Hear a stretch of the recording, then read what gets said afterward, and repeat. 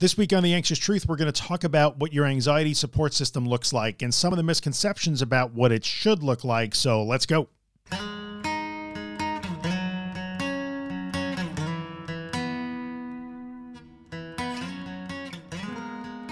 Hey, welcome back, everybody. This is The Anxious Truth, podcast episode number 203, entitled What Does Your Anxiety Support System Look Like? For those of you who are new to the podcast, I am Drew Linsalata, creator and host of The Anxious Truth. This is the podcast where we cover all things anxiety and anxiety recovery. So if your problems are panic attacks, panic disorder, agoraphobia, you are here in the right place. I am glad you're here. Welcome. And if you're a returning listener or viewer, of course, welcome. You're always welcome here. Thank you for coming back. So today we're going to talk about your anxiety support system. And we're probably going to talk primarily about online support because that's sort of the arena that I'm in, but we're going to talk about support in general what does your support system look like and kind of misconceptions about what people think support is supposed to be, especially in the beginning of recovery.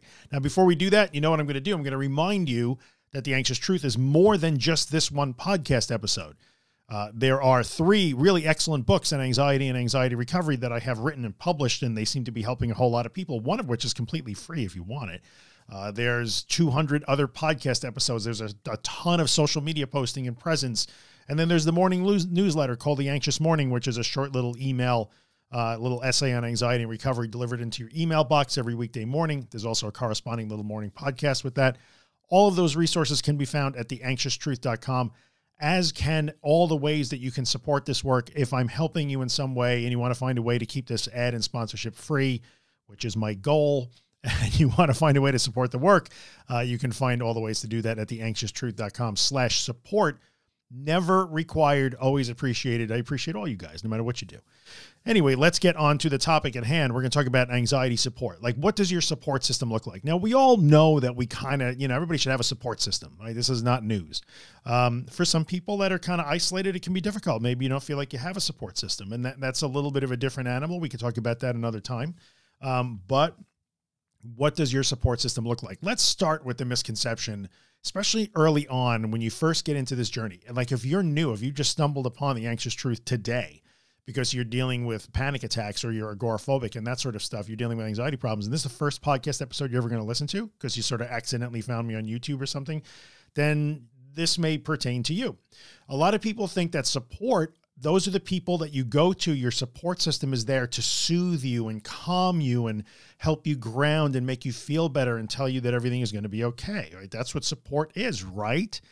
Well, not so much. Like in this thing that we do, where everything is like up is down and black and white, black is white, and it's topsy turvy and counterintuitive. That's not really the best support. Now, look, everybody needs that now and then. I'm not trying to dehumanize this or take that away from anybody everybody needs a shoulder to cry on and, and, somebody to vent to and be frustrated with now and then. That's okay. Your support system does provide that function. When you feel like you just had enough and you need to bitch and moan and whine or cry and just need a place to rest, well, your support system can provide that. There's nothing wrong with that at all. However, that thing where we will expect our support people to soothe us, to make us feel better, to calm us, to rescue us, to just keep telling us again and again and again and again that we are really okay, no matter how many times we ask, that's not really building a great support system. So you may have that in your life and that's, you know, great that you have people who care for you and love you and want to be there for you. And I think as far as the point of view of those people, like our support people, they probably want to do that. So it would be like you know, pretty common for our support folks to want to be that. They're, they, you want to, you know, they want to tell us that it's going to be okay. They want to soothe us. They want, they don't want us to suffer. They don't want us to feel bad. They want to make us feel better. They want to fix it. They want to prop all of those things. So it could be really easy if you think that that's what support is supposed to be. Like I, I demand that you make me feel better and soothe me and tell me once again that it's only anxiety and I'm going to be okay. Then you better do that. Like that's what support is, right? And they may feed into that and think, well, I love you. So of course I'm going to try and make you feel better. But that creates kind of a weird situation where you're just getting this continuous stream of support, air quotes, but things aren't really changing for you. So if you find yourself in that situation, let's relook at what your support system should really look like. Now, this is especially, by the way, prevalent online. So your personal relationships, IRL, like in real life, may look like this. This is what you are asking of your friends and your family in real life to do for you. Online is especially guilty of that. And here's why. As a content creator, I'm going to tell you flat out. I'm going to give you like, here's a little look behind the scenes. I'm going to give you a secret I'm probably not supposed to tell you. I don't know, maybe they're going to hunt me down and kill you if I do, but I'm going to tell you anyway. So as a content creator in the mental health space, I get rewarded. How do I get rewarded? I get rewarded with subscriptions on YouTube and follows on on Instagram and people who like my page on Facebook and, and engagement and all I get I get rewarded with eyeballs.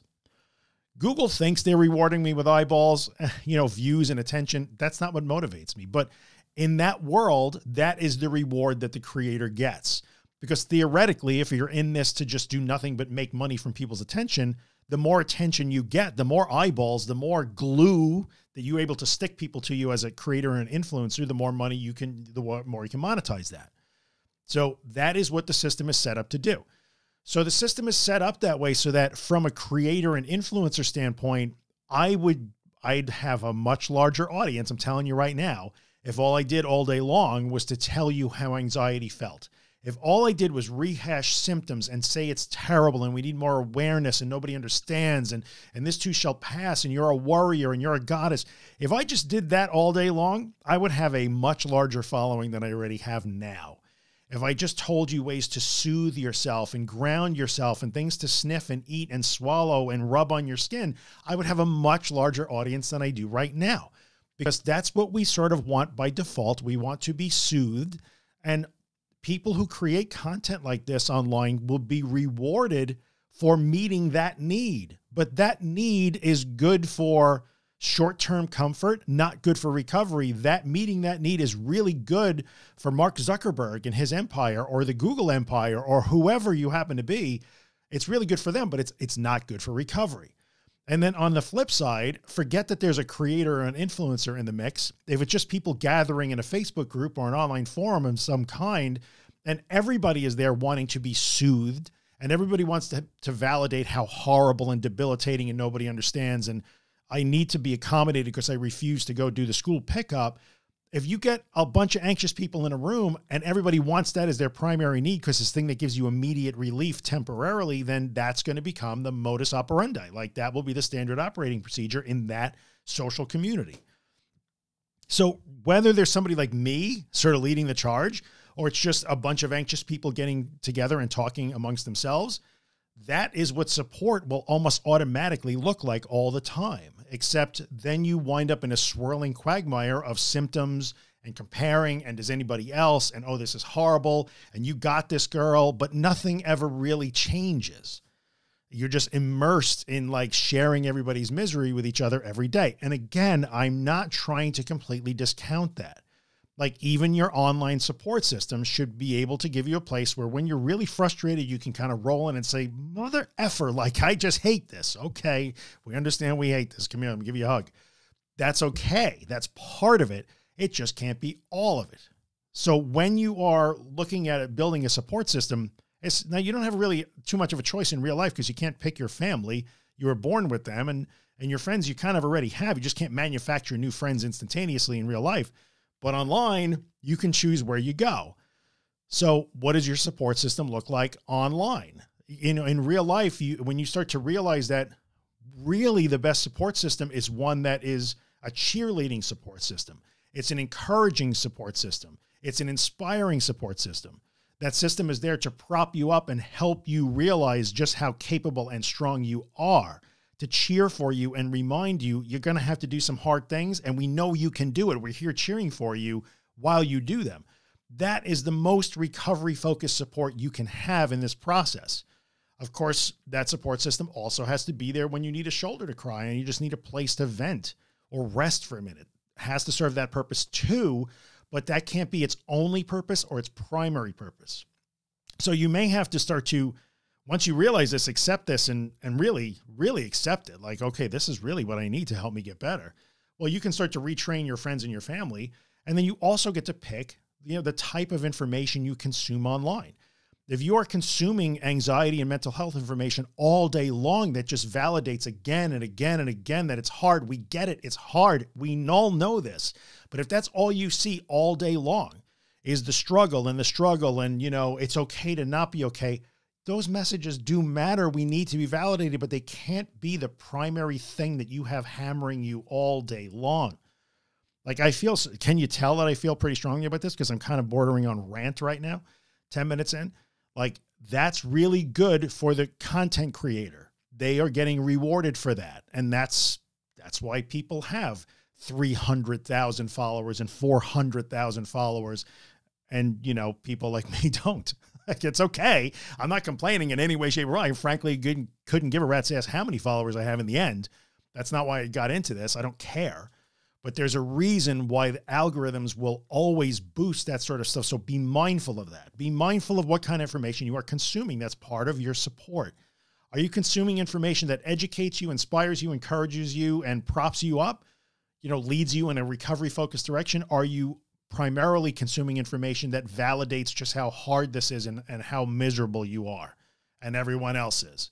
And oh, one day I hope we will overcome this. If I hear that one more time, I'm going to lose my shit. So be careful about the information you are consuming. Like let find things that will educate, inspire, encourage you, motivate you, all those things. Consume those too. I would say consume those primarily. Now you might think this is really self-serving because I kind of think that's the content that I'm producing, but okay, this is my podcast and there's a reason why I say that. So try to consume that information primarily as your support system. But on the flip side, in a social community where you want to interact with people, who are you interacting with? Are you in a community online that does nothing but commiserate and share symptoms and talk about how hard it is and compare ways to temporarily soothe fear that only lasts two days and you're back looking for soothing again? Is that the function of the community? Or are you dealing with people, are you surrounding yourself with people who are willing to motivate, educate, inspire, encourage, prop you up, cheer for you? Be there when you stumble because we stumble, we all stumble, but, but cheer for you to get up and try to run. And if you fall, we'll catch you. That's okay. Like we're all doing that for each other. That's the place that I would strongly suggest you try to be. It makes a difference. So who are you surrounding yourself with? You can't pick your friends and your family, but you can start to talk to them and ask them to treat you differently. Online, you can 100% pick your friends. So you can completely decide where you're going to hang out. And I would strongly suggest that you begin to, your support system, start to surround yourself with people in the cyber world. Who the hell uses the word cyber anymore? But in that world, in the online world, surround yourself with people who are not only trying to recover, but are all who are doing the work of recovery. Like surround yourself with people who are actively recovering so that you can actively cover, recover along with them and you can cheer for each other and prop each other up. Right. And, and inspire each other and learn from each other and model the behavior of each other.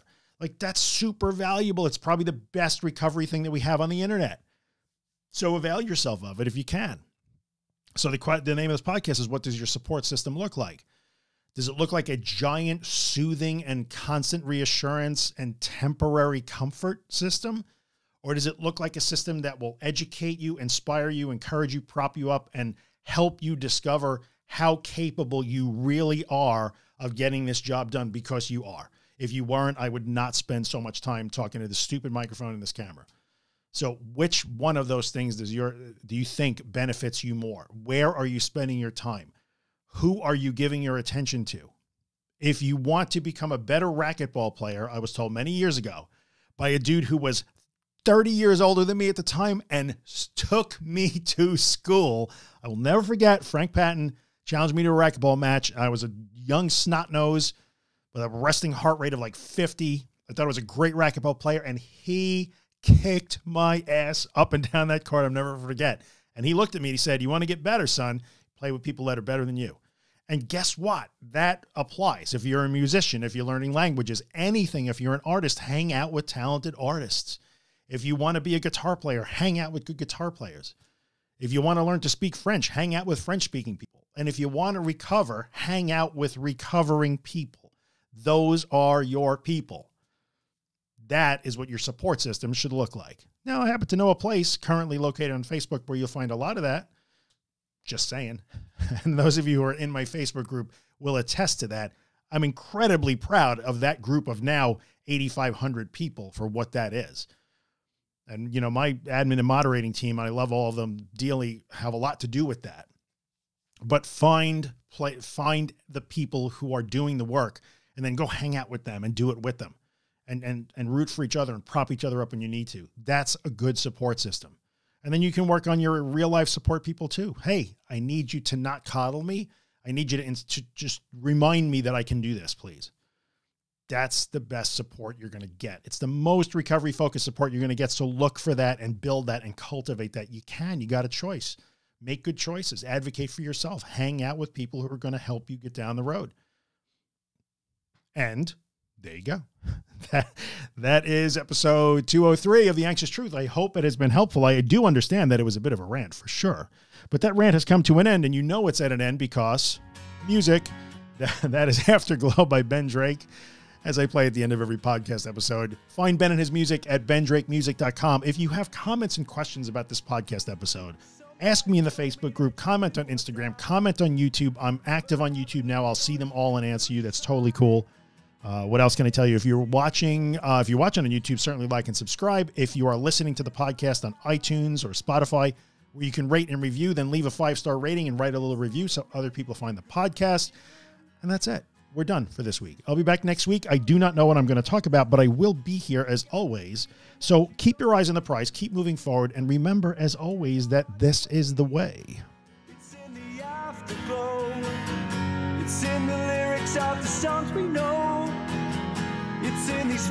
That you never show. Yeah, you're doing fine. It's all.